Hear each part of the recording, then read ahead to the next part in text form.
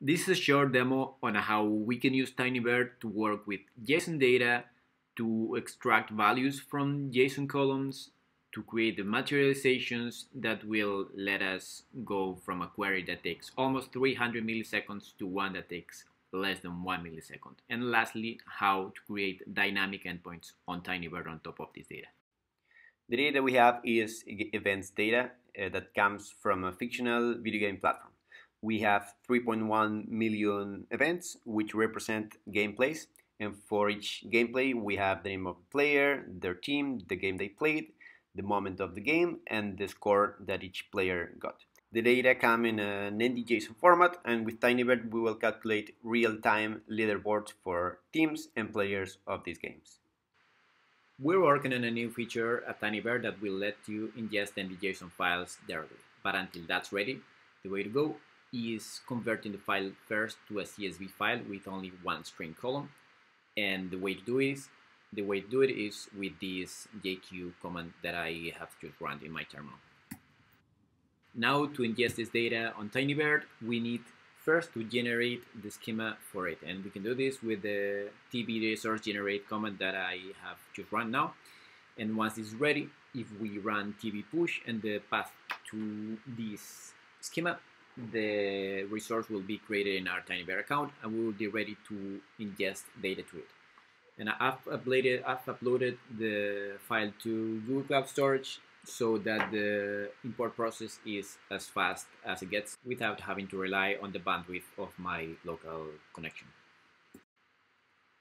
After a few seconds, our data is ingested and we can start transforming it with SQL in our UI. Here, what we're doing is extracting each value from the data source and now here what we do is aggregating data by date, game, and player, and summing the scores of each player. But as you see, this query is quite slow, and if we have thousand times more data, it will be way too slow for any real-time use cases. The way to make this faster is by using materialized views. Materialized views will let us store in this the result of expensive operations like the first data extraction that we did to get each one of the values from the JSON column. And uh, we will also use low cardinality data types so that aggregations are faster and compression is more efficient. This is how you define, you push, and we populate the materialized view. We see the progress of the job, and when it's done, the data is properly populated in the new data source. After this is done, you can see in the data flow graph that the landing and destination data sources are connected. Now we can rewrite the original slow query, choose to read data from the materialized data source instead of from the original data source. And uh, whoops, now the query is 10 times faster. But we can still do better. We can create materialized views to pre-aggregate these calculations that we're doing in this query. The way to do this is similar to what we've done before. We need to create a data source that will store the columns that we want to materialize and then we will need to define a materialized view that will read from one data source and aggregate the results in the final data source.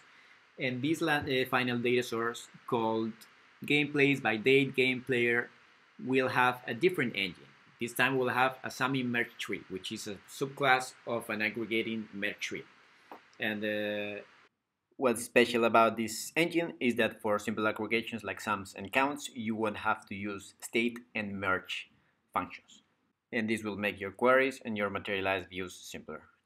We push and populate the materialized view and now we can proceed to rewrite the query and after we do it we see that boom now the query takes 0.6 to 0.7 milliseconds, which is about 400 times faster than the original query. Not bad. And this is all possible thanks to ClickHouse, which Tinybird runs on top of. And the value that Tinybird brings you is that you don't have to worry at all about maintaining and managing a ClickHouse cluster. Everything works for you out of the box so that you can have a production ready system in just a few hours.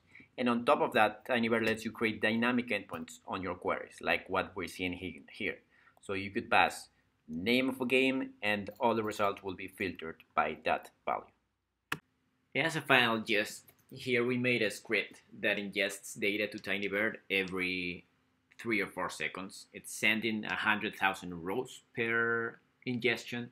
And uh, as you can see, Tinybird just takes it all without uh, any trouble. And that's it. That's how much work you have to do to read JSON data and to make a query 400 times faster with Tinybird and ClickHouse. Thank you.